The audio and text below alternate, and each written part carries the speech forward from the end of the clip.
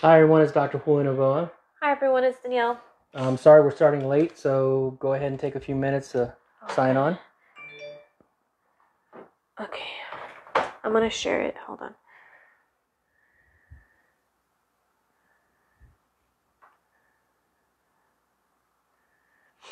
What do I do from here?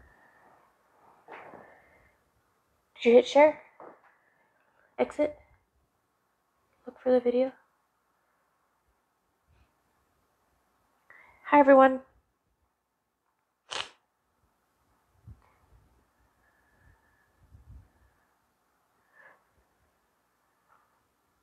We're just sharing it to certain pages, so give us a minute here. And excuse me because I am a little sick.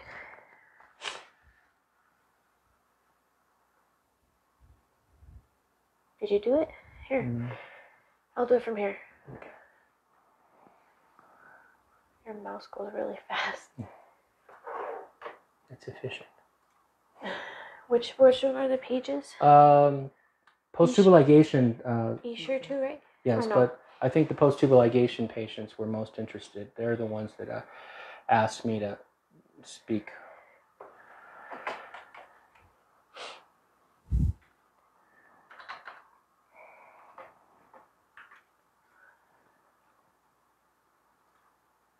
Let me do it again. You could kind of start talking. I'm just gonna share share this. Okay, well, I had a, a very nice list of, well, I hadn't printed it out yet. I put it on my phone, and of course, since we're using my phone, I can't access it right now, so I'm going to have to wing this of the 12 points that I had um, had written down. So um, let's give everybody a few more minutes to sign on. And I thought we were going to be able to do this as a simultaneous uh, cast on YouTube. However, I still haven't uh, confirmed that the camera that we're using for that uh, particular uh, simultaneous broadcast is is up to speed as far as the volume is concerned on the mics. And so I I wanted to go ahead and just continue using the our phone. Um, hopefully, we'll be able to go for the next video or the live presentation on that. Uh, Okay. One thing, if you could if you could all answer this question to make sure that our mics are working properly, that there's no hissing sound that you may hear Well, because it's if that's me sniffling. well, she's sniffling, but that's not a hiss. She only hisses when she's mad. But uh, so anyway, a cat. if uh, if you hear a hissing sound, and one of the one of the uh, mics is um the battery's not working as well as it should, so we'll have to switch that out. But if you can hear us okay, then then we're we're we're fine to go from here. All right. So did you want to clear the, uh, the, the or can you follow along on your phone? yeah. Okay. All right. So I got a, a, a few responses and questions related to um, getting a tubal ligation and getting a reversal of a tubal ligation. And I had posted something that a lot of people um, don't understand, especially related to Essure and the reversal of a tubal ligation with the Essure device. Tubal ligations uh, are very dependent on the reversal of a tubal ligation is very dependent on the manner in which it was done, how much of the tube was destroyed, how much of the tube is preserved, uh, any scar tissue that's around the tubes as they're being uh, reattached. And the, the most important one happens to be the age of the patient. So let's go ahead and talk about that's for reversal. And that's the main points that I wanted to get to based on the comment that I posted about Essure reversals having a very high failure rate, having a very high ectopic pregnancy rate, and having a very high uterine rupture rate. So we'll get to that part about a reversal. But first of all, I wanted to talk about tubal ligations. And this is a comment that I want to say across the board uh, to all patients, all female patients. I know that it exists for male patients, but I wanted to focus in specifically on the specialty of obstetrics and gynecology. Because there was another post that I posted in there about how bad the specialty of obstetrics and gynecology really is. And I've been practicing as an OBGYN for 20 years, so I have a lot of experience on what's been going on and what hasn't been done properly. I know that patients have a great deal of respect for doctors, and we appreciate it. Obviously, I appreciate it. Unfortunately, in the I would have to say that in the field of obstetrics and gynecology, we are l- the least of um, the least group of doctors that deserve that respect and that appreciation. The reason for that is that in the field of obstetrics and gynecology, a long time ago, maybe at the time when my father was retiring as an OBGYN, we stopped having peer review and the practice of obstetrics and gynecology became a business oriented and we lost uh, We're still okay here. okay a business oriented um, and a defensive medicine oriented type of specialty this is the reason why despite the fact that greater than 98% of OBGYNs are board certified board certified means absolutely nothing because you go in you take a test you answer the questions the way that they want to hear those questions answered. You walk out of the of the the board um, test and you start practicing medicine the way you want to. And in the majority of cases, unless you're working at a university setting, and unless you're being peer reviewed, you're basically working as a business practice. And in many cases, in the majority, I would have to say of cases, the the patient is not the most important thing of the practice. It is the the money making aspect of the practice and that is why there are so many things that are wrong about obstetrics and gynecology and how and why women are getting hurt every single day because of it this is a key thing there's not a single thing in the field of obstetrics and gynecology that is not affected by a money making machine and lack of peer review um, pregnancy in and of itself okay and delivery, the most important one. Women, 50% of all pregnancies are uh, delivered at this point in time by cesarean section, and 50% of those cesarean sections are unnecessary. Unnecessary, simply unnecessary. So, half a million women a year are being are, are being subjected to a cesarean section when they don't need to be. And I hear it all the time. Well, my doctor said that the heart rate went down and the baby was in distress and it was an emergency and and I that's how I that's why he saved my my baby's life. And maybe maybe that doctor really did. But I can tell you that unless you were running down the hall uh, with with the, the the nurses on top of the stretcher and you barely remember anything about what happened as soon as you got into that OR, there's a good chance that it wasn't was not an emergency. Now, was it was it necessary? Maybe it was, but the most common eh, um, broad-ended explanations as to as to unnecessary cesarean sections and the definitions of their, of their of are uh, fetal distress, non-reassuring fetal heart tracings, and that's almost always uh, subjected to the doctors. So doctors are basically using that as a catch-all to do a cesarean section when when they're tired of being there, when they want to go home on the weekend, when they're covering for some other doctor, uh, or, or, they're going on vacation or, or the such. Okay, and that's the key there. That's what cesarean sections. Now, I could go on and on whether or not it be uh, Da Vinci robot. Uh, use or uh, permanent sterilizations or the vaginal meshes, the abdominal meshes, the hernia meshes, all of those meshes. I could go on and on, but today's subject matter is spe- specifically associated with tubal ligation. So let's talk about tubal ligation. Number one, point number one. The best form of permanent sterilization is the male vasectomy. Make a t-shirt out of it, do whatever you want to do with it. That is key. I am an OBGYN and I do tubal ligations all the time. And the first thing that I talk to my patients about is, is this really what you want? Because who should be getting uh, sterilized is going to be your partner, your husband, the boyfriend. Because the side effects related to a vasectomy far are far uh, uh, uh less than the side effects related to uh, tubal ligation. And that is key related specifically to the syndrome of post-tubal ligation syndrome, which I happen to believe exists. Okay.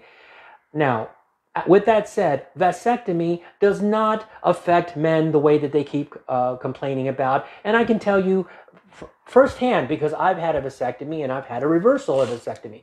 And when I had my vasectomy, I was back at work a couple hours later. And when I had my reversal of vasectomy, yes, it was more difficult, and I had to had to uh, take a few days off. But the fact of the matter is, it did not change who I was, how I managed, how I acted, how uh, my strength, my libido, none of that. So men that that keep saying that that's what they don't want to, that's why they don't want to have it, are just giving you uh, a lot of excuses for doing something that should should be fair, especially since um, since the mother has carried the baby or carried all of the children and has sacrificed her time, effort, her body, and the dads just uh, basically are on the sidelines supportive. But when it comes time to really doing something for the relationship, the male vasectomy is the best choice related to permanent sterilization.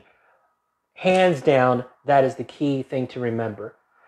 Number two, I get questions all the time about, well, um, my doctor wouldn't do a tubal on me because I'd only had one child or I was too young, and um, and and so or I wasn't allowed to have a tubal ligation because of those reasons. And that's another key thing. Another key thing to remember is that there's no law other than the fact other than the law that you have to be an adult. There's no law that says that you have to be of a certain age to and other than turn 18 to get a tubal ligation.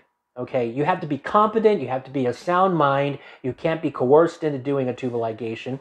But other than that, it has nothing to do with how many children you've had. And if you if you've heard that that the doctor told me that he wouldn't do a tubal ligation on me unless unless I had three or four children, there's no law that says that. It's simply at the discretion of the doctor. The doctor doesn't want to do the tubal because they're under the impression that you're going to change your mind. And a key point to remember there is that a tubal ligation is considered permanent and irreversible. So the question that I always ask patients related to the idea of getting a tubal ligation, and I know it sounds kind of morbid, but this is the this is how I always address it, is that imagine for a moment that you were by yourself. Imagine for a moment that your the man that you love was no longer there, either through divorce or loss. Would you ever imagine having another child? And in the majority of cases, patients will say, I don't want to have any more children, even if my husband or my boyfriend wasn't in the picture. I have I've had all the children that I want to have, and I want to get my tubes tied. And that is the answer that we're talking about. If there's any hesitation with the idea that you may change your mind five years from now, 10 years from now, if especially if you were uh, by yourself or out without your husband or boyfriend, then you should wait on getting a tubal ligation. That's going that would have eliminated more than half of all of the tubals that are done that are considered to be unnecessary. Can I turn off the fan? I think it's making my sinus. Okay, go ahead. We're going to open the door then because we're going to Oh, be sweating hot? in it. No, It's just okay. open the door. No, the dogs are gonna come in. Okay. Well, we I'll can show them off the dogs. I'll just Okay. check that out. Okay. The next thing we're talking about related to tubal ligation um, is the method in which a tubal ligation is done is very important, especially if there is any consideration of getting a tubal reversal in the future. Because nowadays, doctors are choosing to remove the entire fallopian tube as part of the tubal ligation. It's not a ligation anymore. It is it's called a salpingectomy. So the tube is completely removed. And if you have, and the reason because that we've chosen to, to consider getting the, the, the entire tube removed is because we have found that in some studies that the cause of ovarian cancer seems to be associated with the, the latter half of the fallopian tube and the, or the fimbriated end that, that is very close to the ovary. So now we've, we're justifying removing the entire fallopian tube as part of a, a, a permanent sterilization uh, because of that particular risk of ovarian cancer, which is rather small to begin with, but that's how we're justifying it. So if a patient gets her tubes completely removed, she can't have a reversal of a tubal ligation. She's obligated to do in vitro fertilization, and we'll get to that in, in, a, in a few minutes. So if you remove the entire tube, there's no way that you can get a reversal. If you remove the fimbriated end or the fluffy end that looks like little fingers, uh, that it- that's very close to the ovary, you can't get a reversal of a tubal ligation. It, it doesn't work. Okay. If you burn the entire fallopian tube, you can't get a reversal of a tubal ligation. And as I said before, if you remove the entire tube, you can't get a reversal. Uh, in the cases of bands or some device that you're using to, to ligate, the best uh, outcomes occur with minimal types of damage to the fallopian tubes, which are associated with Falope, uh, uh, bands, which are made out of silicone in part, uh, or the uh, Filshie clips, which are also coated with silicone, as well as titanium with, with some uh, secondary uh, metals associated with them. The Hulka clips, uh, or uh, or one of those three, one of those uh, different types, which minimally destroy the fallopian tube and allow for scarring. And if you remove those, you're able to preserve a lot more of the fallopian tube and reapproximate that tissue. So that's the key related to that. Uh, if you're going to burn the tube, usually the best is you only burn one small area because then you can cut out that area and you can reapproximate the tube. The worst uh, procedures to try to reverse are going to be complete destruction of the fallopian tube or Essure uh, permanent sterilization devices because the Essure not only damages the fallopian tube, but it damages the entrance into the uterus, which is uh, the the uterine uh, the uterine uh, uh, uh, tube junction area, the cornual junction area, and these areas are necessary to be able to preserve an opening and allow for fertilization to occur. So the the procedures with the least likely outcomes as far as, as getting pregnant are concerned are going to be uh, the destruction of the entire tube, the destruction of the coronal area, the junction of that with the fallopian tube, uh, and both of them can, most commonly associated with the Essure device. So you're looking at, in the cases of minimal damage to the fallopian tube, you're looking at a success rate of between 70 and 80 percent uh, with the uh, Silastic bands, with the uh, Filshie clips, and with the Hulka uh, um, uh, Hulka clips. And the worst outcomes with the Essure permanent sterilization device, which has a success rate of only 30%. Now, once you reverse a fallopian, once you reverse a tube and, and open it back up again, the area that you've put together where of good tissue can close back down. So you have a failure and a closure again back to uh, the ligation point. But that area is also permanently damaged. So your risk of an ectopic pregnancy can significantly occur. So your risk of less than 1% with an ectopic pregnancy uh, in normal circumstances significantly goes up 50, uh, excuse me, 100 times higher, up to 500 times higher. So it goes from less than 1% to up to 5%. And ectopic pregnancy is a big deal. That's when a pregnancy occurs in the fallopian tube or outside of the fallopian tube, but not in the uterus where it's supposed to be. And an ectopic pregnancy is life threatening. First of all, you're probably going to lose the tube uh, if you have an ectopic pregnancy. Number two, uh, if it gets big enough and you're not not aware of it, you could actually have the tube rupture or the ectopic pregnancy rupture, and that's life threatening. And it requires an emergency surgery to try to preserve that, um, uh, the preserve the life of the of the patient or the mother. So that's very important to understand there. This is the next part is very unique to Essure permanent sterilization. In order to reverse an Essure, you have to remove the coil, obviously, and you have a certain amount of fallopian tube tissue that's still good. So what you have to do is you have to reattach that good tissue of the fallopian tube to a new part of the uterus, creating a new opening, as it were. And you do that with stents, and it, it, it's a complicated procedure, very uh, technically oriented. So some of the best doctors, Dr. Charles uh, Monteith out of North Carolina, uh, Chapel Hill, North Carolina, is the premier, uh, the eminent expert on uh, Essure permanent sterilization reversals. So I suggest you talk to him. Unfortunately, even in the in the in the best hands, one of the most severe, the most difficult, uh, the most complicated, uh, and life-threatening issues can occur, and that is a uterine rupture. Since you're creating a new a new opening, the tube attaches to that new opening, and it weakens the area around it. And so, when a pregnancy does occur, as it gets larger, uh, and and possibly during uh, labor and delivery, you can have a rupture of that area and uh, permanently damage the uterus. Now, so that you get an idea of how important, how serious a uterine rupture is, uterine ruptures, if you were to have a cesarean section and you were, if you were never to have a cesarean section, a uterine rupture occurs one in approximately 10,000 to 50,000 times. That's how rare a uterine rupture is without having had a cesarean section. If you have a cesarean section, the probability of uterine rupture goes from 1 in 10,000 to 1 in 1,000 or 1 in 500. So significantly increases your risk of that. So we have had protocols that say what is safe and what is not safe. If a patient gets pregnant and she's attempting to have a vaginal delivery, we consider a 1% risk of a uterine rupture to be acceptable. 1% is acceptable. And uh, we also uh, believe that 2% uterine rupture, which is associated with two previous cesarean sections, is also acceptable. That's an acceptable rate of uterine rupture.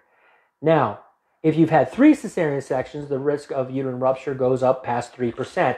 And we consider that to be unacceptable. That's why across the United States, women with three previous cesarean sections are not allowed to labor uh, f- for a vaginal delivery. They have to have a, a, repeat cesarean section.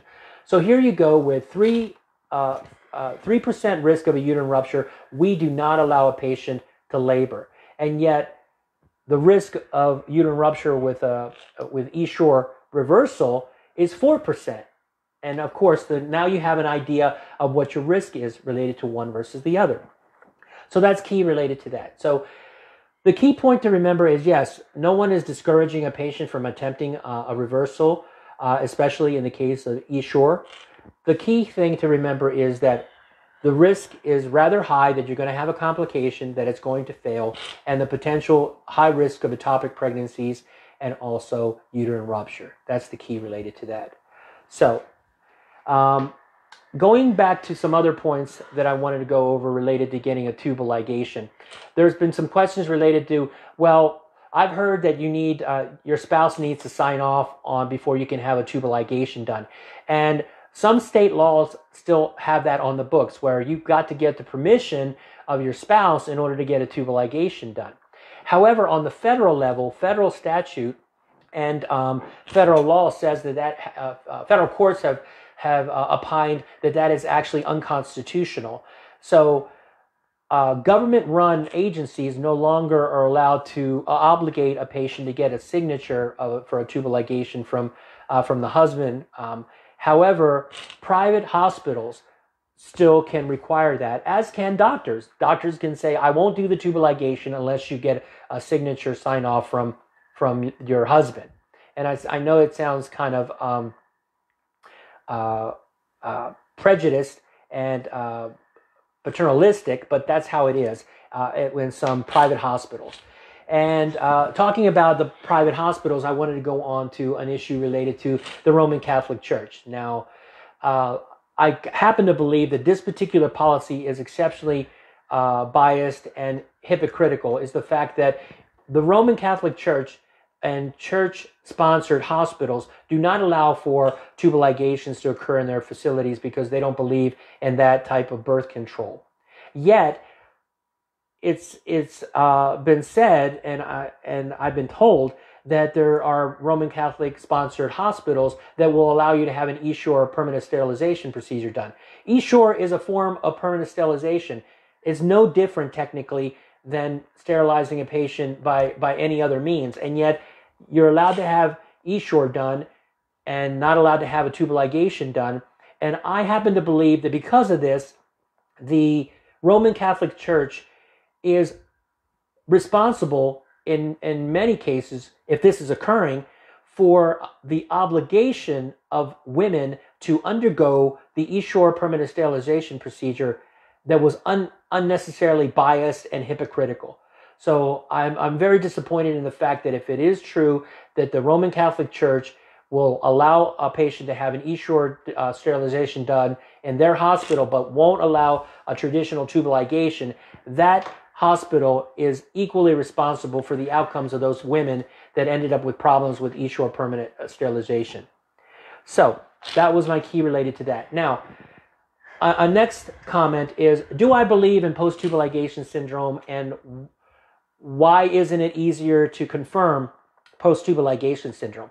Yes, I do believe in post tubal ligation syndrome. I've done more than 2,000 tubal ligations. I have seen maybe two to 3% patients that have had symptoms of post tubal ligation syndrome. The most common ones are going to be um, changes in their menstrual cycle, uh, pelvic pain during the, menstruation becomes more painful, uh, pain with intercourse. I haven't seen the cognitive changes, the emotional changes, the excessive weight gain with post tubal ligation syndrome, but um, I do equate the problems with post tubal ligation syndrome similar to the inflammatory responses that are associated with a foreign body reactions from the Falope uh, Silastic bands, from the Filshie clips, from the Hulka clips, uh, and uh, of course, from like I said, from Essure. So, why is it why is it so difficult to to find or to try to narrow down post tubal ligation syndrome? It's because we still haven't been able to find the cause of it if it does exist in a particular patient. And I happen to believe that the ligation syndrome is associated with an inflammatory response. So we do see them much more common in the issues if you're using a, a, a Silastic band or a silicone band or a Filshie clips or the Hulka clips or the Essure device. Those cause inflammatory responses both locally and also chronically, systemically. So if someone is telling you, or you're arguing, the ladies that are uh, that have Filshie clips, Hulka clips, and Silastic bands in place, and you're saying my doctor won't take these out, well, it's probably because your doctor doesn't understand that this is causing a foreign body reaction. And if it has any nickel in it, it's part of the um, systemic nickel allergy syndrome. And all of these fall under the umbrella of um, autoimmune inflammatory uh, syndrome induced by adjuvants or ASIA. And we as OBGYNs haven't even heard of this. We don't we don't we don't manage patients with inflammatory responses and so we can't put two and two together. We can't associate putting a Filshie clip on a patient to that patient having severe weight gain and uh, severe pelvic pain and uh, uh, severe vaginal bleeding during their menstrual cycles. What we have found, and I've I've actually had patients that have had the symptoms of metallic taste, uh, chronic pelvic pain, excessive weight gain uh, half an hour to an hour after we remove the Filshie clips, the patient doesn't doesn't notice the metallic taste anymore, and she's and she doesn't have any more pelvic pain. And within a month, she's back to doing everything that she wanted to do prior to um, uh, getting her tubal ligation done. The same applies to the Hulka clips and to the Silastic bands. The worst case scenarios are associated with Essure permanent sterilization uh, because that is a, an intentional foreign body reaction caused by the Essure device. And so that's key related to that. So yes, I do believe in post-tubal ligation syndrome. It's very difficult to prove because there's no significant study that, that's been supported of that particular situation. Uh, however, the removal of the foreign body uh, and reversal of the of, of the um, uh, removal of the scar tissue and reversal uh, uh, and opening up the tube back up seems to significantly improve the foreign body reaction, inflammatory reaction. What's also key to understand is that it doesn't happen in everyone because there's a genetic predisposition to a foreign body reaction, as is the severity of that foreign body reaction. For example, if you if you know someone that's allergic to penicillin, not everyone is allergic to penicillin, but there is a group of people that are. Same thing with peanuts or or other types of uh, of uh, medica- uh, uh, uh things that they take, ingestion of food or medications.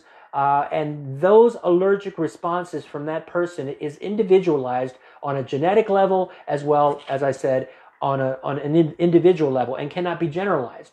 So where a doctor says, "Well, I've never seen an issue with a, a Filshie clip," doesn't mean that it doesn't exist for that particular person, and that's key to understand uh, related to the foreign body reaction. I've also always recommended that that tubal ligations uh, uh, be done using either cautery or uh, uh, absorbable material uh, rather than a foreign body such as a Filshie clip or, or Essure permanent sterilization device because um, there's less likely to cause an inflammatory response. Another point of interest is that we have found that the that immune response uh, to the, the tubal ligation appears to exist from the moment you damage the tube and it's it's associated with a cascade of antibodies the most common one in the studies that are associated with IgA antibodies, IgA, an immunoglobulin A uh, type of antibody.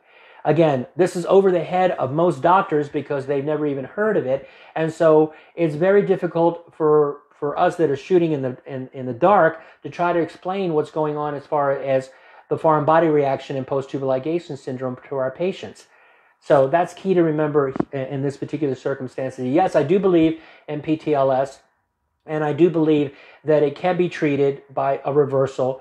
And uh, there's only a certain number of doctors that are really, really good at reversing tubes. And here we get back into the idea of uh, reversing a tube. I've seen plenty of ads where it says $1,800 for a tube of reversal. Now, anybody can reverse the tube. Now, whether or not it stays open is is is, what we're talking about in this scenario. So uh, I can reverse a tube, but I'm no expert in reversing it so that the, the tube remains open and that the patient can have a successful pregnancy to follow. So this is where um, that that you have to buyer beware is important because it can be done, but to be done well enough to get you pregnant is the key to, to what we have to understand and what's going on here. And as I told you before, the uh, the key things to remember: how much of the tube was destroyed, how much of the tube is still good. Because what the studies have suggested is that if you have between a five and a seven point five centimeters of good tube, that's the the best chance that you're going to be able to reverse the tubal ligation and you're going to have a successful uh, pregnancy because of it. If it's less than 2.5 centimeters left of your tube, that's that's good. It's unlikely that you're going to get pregnant. You're less than a 30, 38 to 40 percent chance that you're going to get pregnant with just a little piece left like that. Um, the and age is exceptionally important related to this. Women that are under the age of 30 have a 70 to 80 percent chance that they're going to be able to reverse their tubes and have a successful pregnancy. And unfortunately, women over the age of 40 have less than a 40% chance that they're going to be able to get pregnant uh, after a reversal. Even if it was a successful reversal, they're less likely to get pregnant because of that. So that's why women are charged six to seven thousand dollars by the experts on how to reverse a tube because they're the ones with the most success rates. The issue, however, and the problem with that is that I haven't seen a single doctor publish his total results except for Dr. Charles Monteith uh, uh, out of North Carolina. So all of these experts at the tubal reversal, put your money where your mouth is. Post your stats. Uh, because I've seen plenty of, uh, I've gone to the websites and I've seen plenty of them where they got baby after baby after baby after baby success. Well, that may be five babies, but you did 100 tubal reversals. So you're only batting 5%. How do you know how many, how many successful uh, outcomes you've had if you don't show them how many you started with, how many tubals did you actually reverse, and how many babies did you actually end up with. So I'm always skeptical about doctors that are not willing to put their stats in writing, and it's important for you to get that in writing. If you're going to ask a doctor to reverse your tubal ligation, ask them, I want to see any published work that you have and confirming that what your tubal ligation rate is, success rate for pregnancy. That's very important to me. And Doctors that are not willing to put it in writing, you probably should go to a different doctor because uh, if they're not able to put it in writing, I really wouldn't believe that their stats are, are accurate or truthful or honest. And again, we go back to the issues of the honesty of the field of obstetrics and gynecology.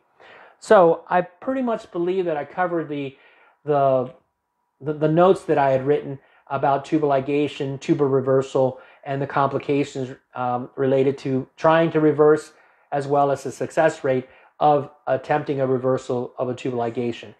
If your reversal fails, um, then and you you usually will get pregnant within one year of a tubal reversal. If it's taken more than a year, it's less likely to be successful. But Mother Nature and and is is awesome. Where there's a will, there's a way. Uh, God helps out a lot, and you can uh, uh, you can still get pregnant doesn't mean you won't, but you, it, it becomes more difficult.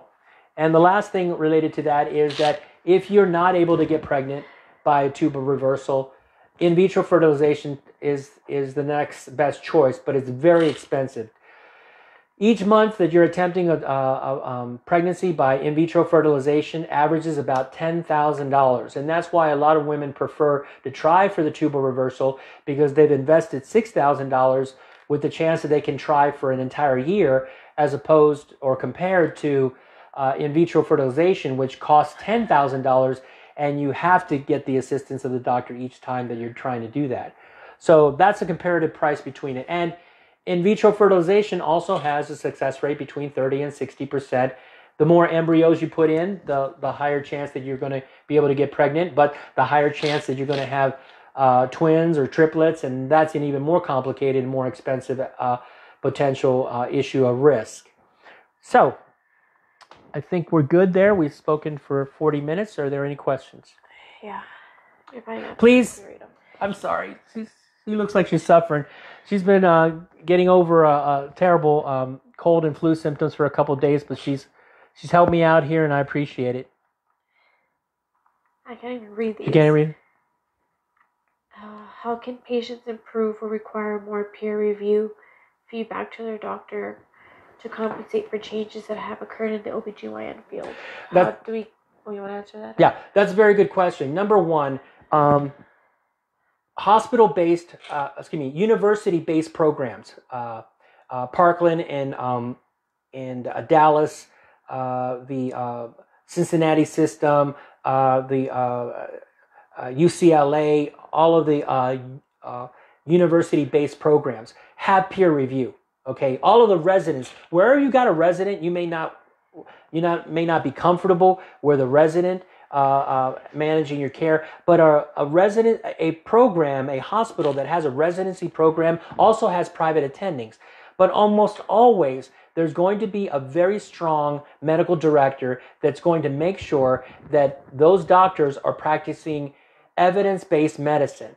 Okay, the least likely place to have peer review is going to be in the private hospitals because doctors basically work by a democracy. So if if 60 doctors sit down and say, "I don't want peer review," then the hospital is going to do what they're they're asking, and there's not going to be any peer review, and then there's then that's why the problem exists. If you have hospitalists uh, which work for the hospital, they're going to be peer reviewed as well because they're trying to keep the the complication rates down, and that's very very important related to that. So. Um, the key thing to remember is you're going to have to not go by board certification, not go by word of mouth. I always say get it in writing, and that's going to narrow your field of 100 doctors down to just a few doctors. But maybe they're the ones that you should pick. Maybe the instead of having 100 doctors that are not very busy, you should have 10 doctors that are very busy because they're the ones that have dedicated their time and effort to, to doing what is right, evidence based medicine, and putting it in writing. Uh, that's the key. So the reason I'm saying forget about peer, uh, excuse me, forget about board certification. Remember that 98% of all doctors are board certified. So 98% of the doctors that are taking advantage of their patients are board certified. Okay, that's that's the basic point. I mean, board certification does not carry any weight if there's no peer review and and and there's nobody watching what they're doing and that's the key. So to answer your question, try to pick uh, programs that are that are um, that are university based, that have hospitalists, and that doctors that are willing to put whatever they're doing in writing, sign and date for you to to have as some type of evidence that a conversation did occur, and then these doctors are really uh, putting their money where their mouth is. Um, and she went on to say, how do we get true informed consent and further research when doctors and ACOG don't believe in PTLS? Do you believe research will first need to prove PTLS real before we see changes in consent and doctors who refuse to accept or believe? what what ACOG and what um, doctors are falling back on is the CREST study that was done uh, back in the um, 19, 1978 to 1986 and the published studies, the results from 1996. That's the biggest study that evaluated uh, like uh, permanent sterilization in women. And the CREST study basically showed, uh, suggested that uh, that the incidence or the prevalence, I'm sorry, the prevalence of abnormal bleeding is actually lower in women who have gotten tubal ligation. And as soon as doctors heard that, they said post tubal ligation uh, doesn't exist. Uh, post tubal ligation syndrome doesn't exist. Okay, because the CREST study doesn't support it. So Smaller studies have suggested it, but nothing as large as that. And so I guess that if the CREST study, because that was more than 20 years ago, if the CREST study were to be repeated, uh, that would be the best, the, the, the turning point. My suggestion is that the, the, the, uh, the specialty of immunology should be involved to show on a cellular level what's going on with an immune response that may explain why to- tubal- uh, post-tubal ligation syndrome is a real thing. What are signs of an ectopic pregnancy? Ectopic pregnancy, the most common sign. Well, first of all, you're going to probably miss your period or having light bleeding, but the one that's worse and the most most serious is going to be pelvic pain. If you've missed your period or you've had light bleeding or something's unusual about your period and you're having any type of pain, you should get evaluated as soon as possible. For example, that's the reason why uh, Danielle and I always accept patients as soon as they miss their period uh, we, we do an ultrasound and to see how far along they are. If we can't see a pregnancy right away, we have them come back the following week or we have them do serial blood work to find out how, how high the beta HCG count is going and follow along that way. But the most severe and the most uh, dangerous one is going to be pe- uh, pelvic pain because that's a potential sign that the ectopic can rupture. What about periods for 14 days every month with old blood each time? As a sign? I guess. No. Uh, periods that are I four- guess that's what she means. Okay. Periods that are 14 days uh, uh, long have to do with uh, dysfunctional uterine bleeding or abnormal uterine bleeding and not specifically an ectopic. Uh, so that has to be addressed by a hormonal uh, adjustment rather than that you actually got pregnant and that's what's causing the, the bleeding like that. Uh, hold on. Questions, questions. Ugh.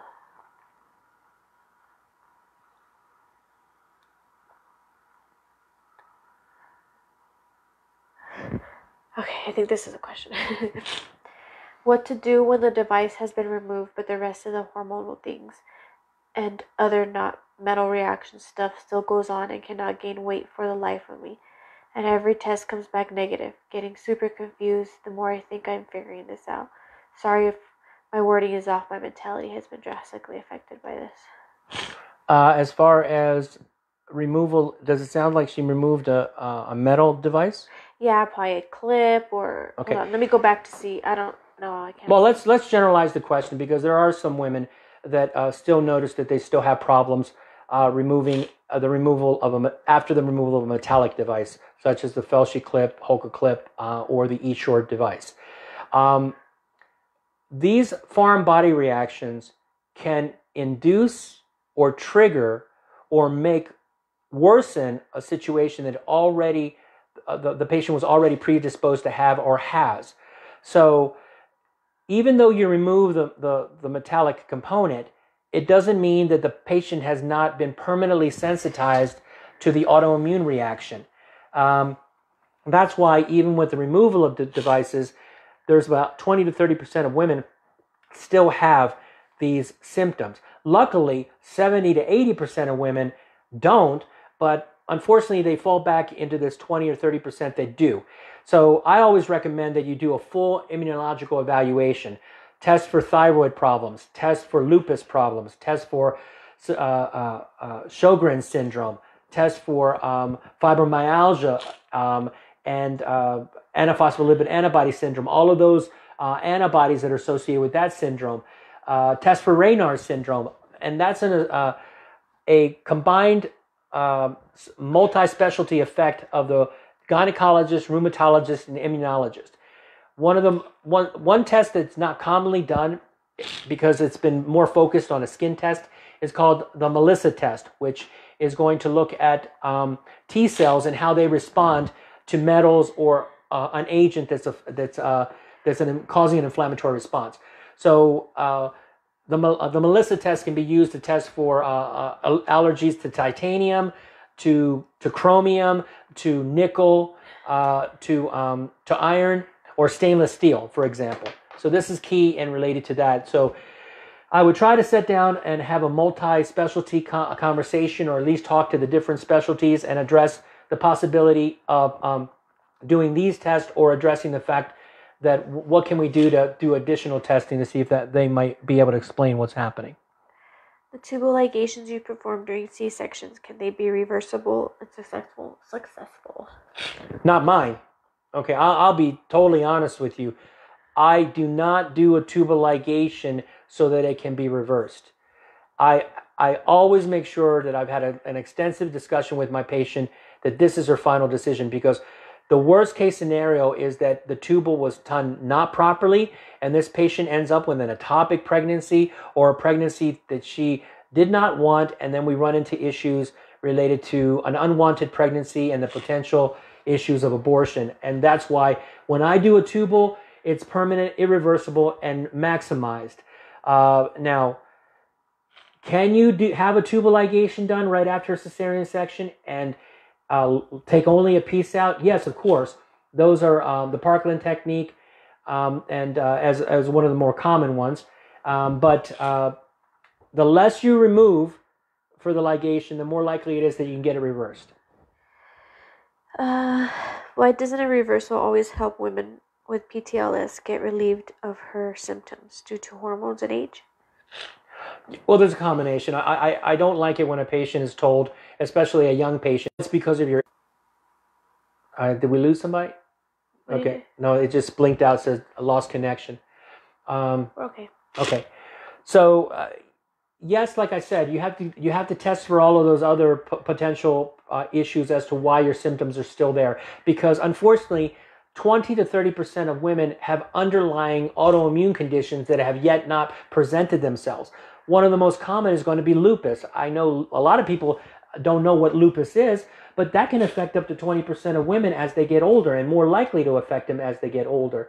So fibromyalgia, 30% of women can suffer from fibromyalgia as they get older.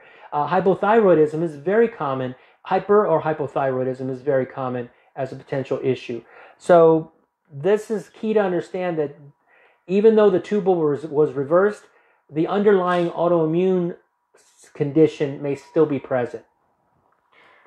Do we take patients from out of town? Yeah, of Only course. if their insurance allows them to be seen here, right? Yes, a, a limitation related to that is um, insurances because we we we really pride ourselves on trying to help patients out. Um, and we, I mean, for example, we take IUDs out for free as part of the medical charity that we we, we uh, were um, a part of. Um, uh, free condoms, uh, consultations for Essure uh, permanent sterilization, uh, or free consults. Okay, but there's only so much that I can do because anything that requires surgery requires the patient to have to pay for hospital stay, and that becomes much more difficult. But just like we do these videos, I answer a lot of questions uh, through email uh, or for Facebook, and uh, that's important to me because I think that, that that's the key. If if only five percent of doctors did what I'm doing, we wouldn't have the problems that we're having. That's the bottom line. It's just that, and and ACOG is to blame. I think ABOG is to blame because they're not policing their members, their fellows. And if they did put uh, put more pressure on the scale, doctors would would uh, come around and start doing uh, doing right by their patients. If I get a reversal and have to pay all that money to feel better, what if my tubes close later on down the road after surgery? And I'm, le- and I'm left in pain and in debt again. What are the odds of tubes closing later down the road? Well, again, the odds of them closing are, are associated with the the the the, the statements that I previously uh, uh, originally said. The age of the patient, the amount of uh, scar tissue that was originally present, uh, the sc- scarring around that particular uh, uh, fallopian tube, and the skill of the doctor doing the procedure. Again, Dr. Charles Monteith out of uh, uh, uh, North Carolina has posted his particular stats, has published his particular stats, and he has uh, a 70 to 80 percent success rate of pregnancy related to the um, a reversal of a, of a clip. That doesn't mean that the tube has closed, but you're still looking at a good 80% chance that the, the tube will stay open. But let's try to address something. Just because the tube closes doesn't mean the problem wasn't fixed. The the inflammation that that was the original insult, especially if it's a foreign body, may be what the problem was. And by doing the operation to try to put the tissue back together again and let a natural scarring uh, occur may be all that's necessary. So I wish that I could give you a better better odds or better options related to that, but I'm suggesting that even in the case where the tube will close, doesn't mean that you're not going to still have that benefit of the reversal sim- uh, reversal of the symptoms. Uh, how common is it to have four Filshie clips placed? Four, uh, pretty common because the Filshie clips are known to pop off, and so doctors uh, have decided, well, two is better than one, so they put two on one side, two on the other. However, now you've doubled your your exposure to a foreign body, and we just didn't know that we were doing wrong. So to tell you that it's a, something that shouldn't be done, well, the manufacturer said there's that there's nothing wrong with that. So it's not necessarily the fault of the doctor. But what's another thing that I forgot to mention: always properly understand what your doctor is doing, what technique he's doing. Because if you were expecting the doctor to tie your tube and the doctor put a Filshie clip on, that's not the same procedure. You did not get informed consent or you did not give informed consent. If you were expecting the, your tube to be tied and your doctor put a Filshie clip, a Hulka clip, a, a, a, Falope, um, a band on, or Essure permanent sterilization, you did not give informed consent. That's medical battery for all intents and purposes. But because we've arbitrarily decided it's so nonchalant about getting tubal ligations done or doing tubal ligations, we have cut informed consent down to a single page and don't properly explain what we're doing. There's a lot of women that think that, oh, if I get my tubes tied, I can get them untied. That's not how it works. Once you tie a tube, you strangulate the tube, you permanently damage the tube and it's scarred. So even whatever caused that that that scarring to to to occur, it dissolves, the, the suture falls off. You you're not untying something. Okay, that's the key related to that. Uh, if you put a, a Filshie clip on, it's the same thing as tying. It damages the tube, and that's what leads to the to, to the sterilization. So you can't simply tie and untie. And also, if you told your doctor that I wanted you to burn my tube, but he but he but he puts a Filshie clip on, that's just as bad. He needs to tell you how he's or she needs to tell you how they're going to do it and what are the what are the odds that it's going to work? And if you did want to reverse it what will the odds be of reversing that particular procedure that the doctor's doing? Uh can you get a reversal with the Essure trailing into your uterus? What about it shattering into hundreds of pieces? Okay. The again, I keep mentioning his name. I hope Charles uh, is is out there listening. Charles uh, Monteith is the expert on this, uh, eminent ex- expert on this. But what happens is this: you core out the the part that's trailing into the uterus. You core it out, and you gently take it out of the uterus, uh, uh and then you uh, put the new um, uh, the new tube or that you've created into an area near to where you cored it out or uh, depending on exactly how the, the shape of the uterus is. So you can close the defect and create a new opening if you needed to, but the key is do not pull on the coil and uh, do not cut the coil. You have to core it out or you have to gently tease it out, but pulling on it really hard or cutting the coil is not supposed to happen. And especially if the doctor's telling you that they're going to go in through the, uh, the, the uterus through the, uh, through the vagina using a hysteroscope, that's contraindicated to cut a coil.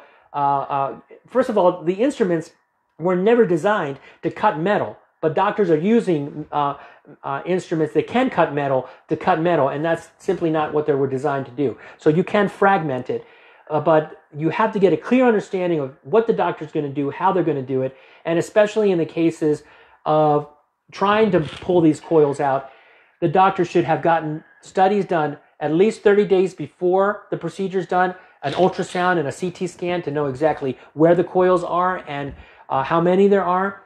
And then intraoperatively, the doctor should be getting a, a, a fluoroscopy done to make sure that, the, that he or she has not cut the coil accidentally, fragmented the coil, and uh, get the assistance of interventional radiology to help you if you have left a piece behind so that that, that doesn't become a, a a question or concern a month later when the when the patient is told then, hey, I left a piece behind.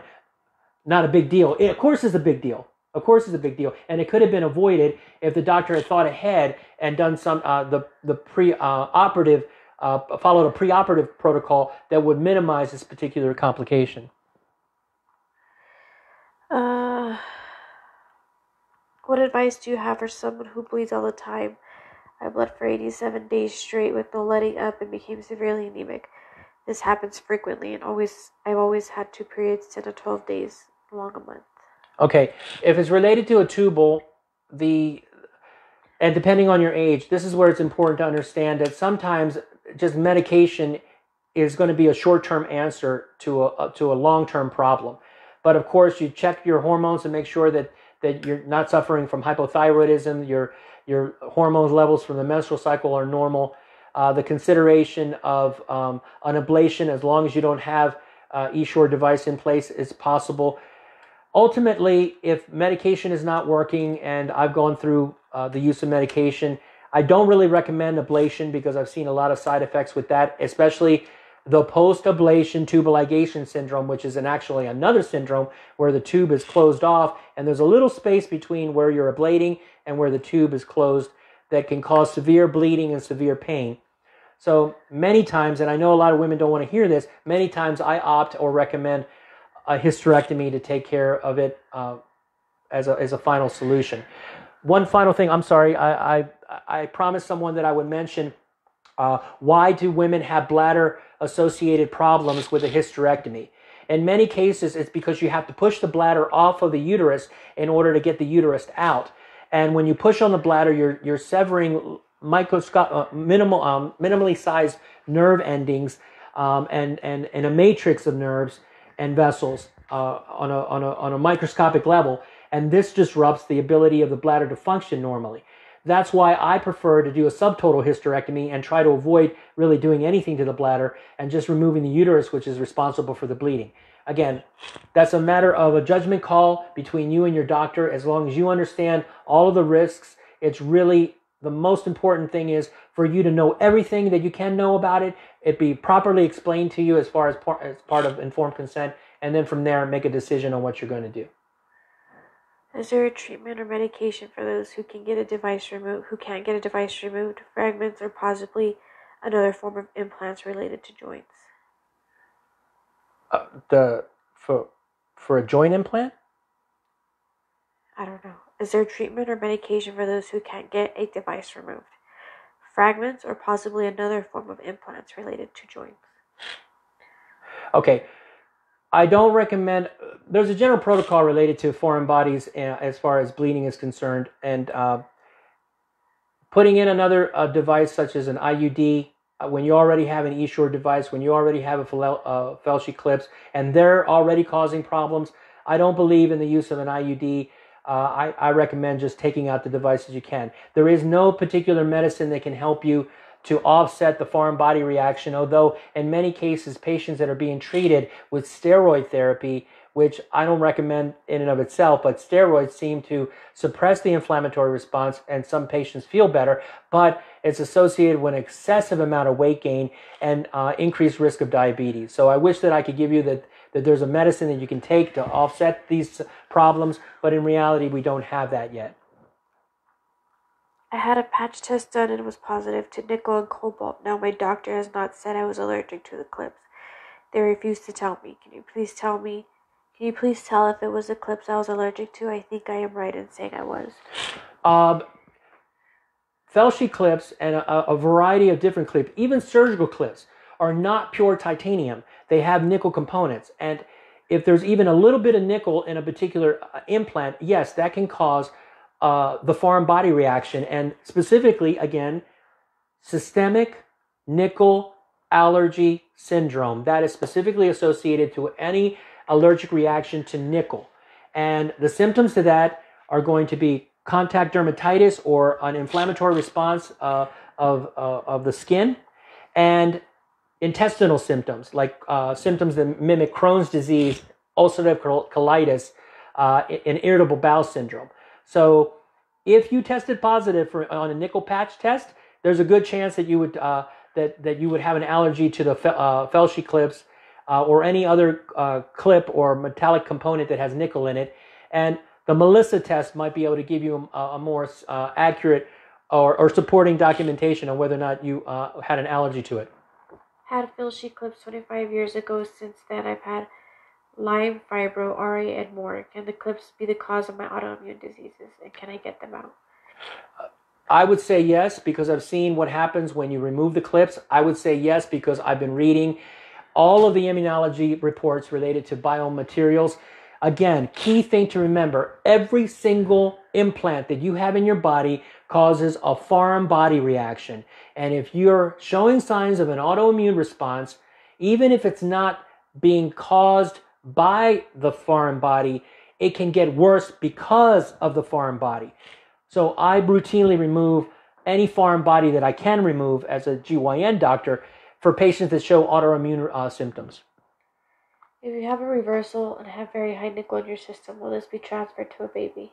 No, it's not expected to be transferred to the baby. However, we're, we're concerned about the uh, the direct contact autoimmune reactions that may be occurring during pregnancy uh, uh, from the from the nickel component to the baby.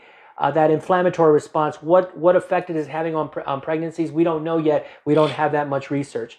Now, there are medications that can reduce the amount of nickel that you have in your in your um, in your uh, system, as well as there is a list of, of foods that have a significant high content of nickel. If you reduce the nickel that you eat in your diet, and believe me, there's a lot of stuff that has it. Even chocolate has a high concentration of nickel in it. If you start changing your diet, you may notice an improvement in your symptoms. Oh. Can tubal be the cause of Hashimoto's? There, there's no direct association with that. But again, if it was, if your tubal was done by a, um, by the use of a foreign body such as the Filshie clips or Essure per, uh, permanent sterilization device, it could worsen the underlying Hashimoto's that's that's already there. What about neurological issues like Bell's palsy?